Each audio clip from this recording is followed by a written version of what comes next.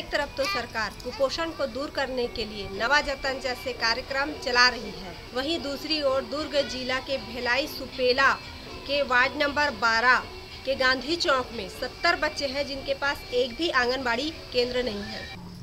कितना महीना चला था आप मन के बच्चा ला अभी? दो दिन आएगा ना तो एक महीना हो जाएगा। कहाँ जाते हैं? टीका लगाने? हॉस्पिटल सरकारी यहाँ पे आंगनबाड़ी केंद्र नहीं है? नहीं यहाँ कुछ नहीं है।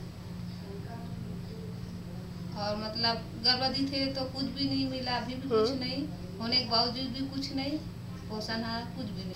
आप मन के जानते में कितना दिन हो गए है कि नहीं यहाँ पर आंगनबाड़ी? मतलब वही छः साल। छह साल से आप मन यहाँ पर हो आप मतलब पता है छह साल से नहीं है? नहीं है आंगनबाड़ी। आपको पता है क्या क्या मिलता है आंगनबाड़ी से?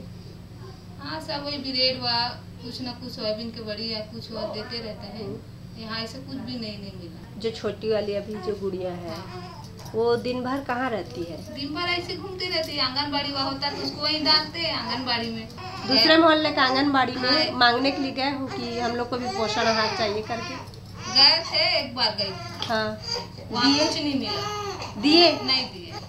अपने पंद्रह लोग को देंगे और बाकी मोहल्ला लोग को नहीं देंगे। हाँ। ऐसे। तो अभी आप लोग को सलाह कौन देता है जैसे प्रसव के बाद मितानी मितानी आती है। हाँ मितानी नाती है। सब चीज़ का सलाह वही दे के जाती है। तो जल्दी से जल्दी ये मांग करते हैं कि आंगनबाड़ी जल्दी ही बने।